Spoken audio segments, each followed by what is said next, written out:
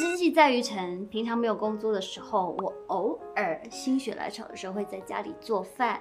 今天跟大家分享一下非常简单，但我觉得非常好吃的三明治。三明治呢有几个重点：吐司、cheese 片、黑胡椒、灵魂主角番茄酱。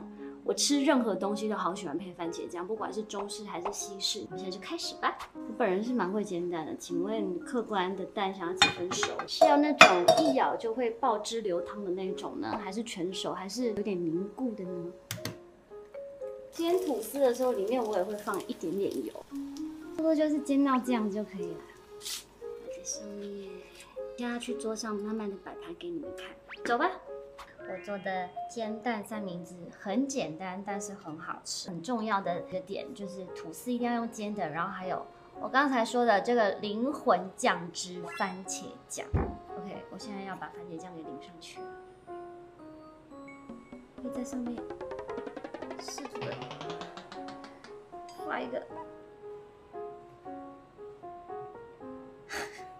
笑脸，自己会觉得心情很好，这是一种自我的仪式感。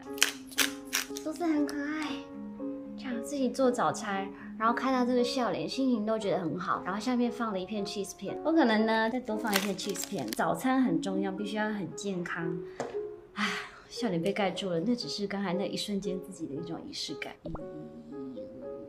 吐司一定要煎哦，煎过的吐司长这样，大概到这个焦度，它就有点脆脆香香的，摆上去。OK，我的三明治就完成啦。我们要营养均衡，所以我们还是要有一些沙拉，对不对？有蛋白质，有淀粉，然后有蔬菜沙拉。这边这一道呢，就是番茄炒蛋。为什么会这么红呢？有些番茄炒蛋是没有加番茄酱的，在我内心就觉得，怎么可以番茄炒蛋没有加番茄酱呢？中式的番茄炒蛋。也是要有很多的番茄酱才好吃，而且这番茄酱其实大家可以吃的很安心，因为它是零脂零添加，不含人工色素，用的也是非转基因的番茄去做的。因为不含防腐剂，所以开过使用过的番茄酱记得都要冰在冰箱哦。万物皆可酱，番茄酱就是我们生活中所有餐厅的好朋友。说我会煎蛋吧。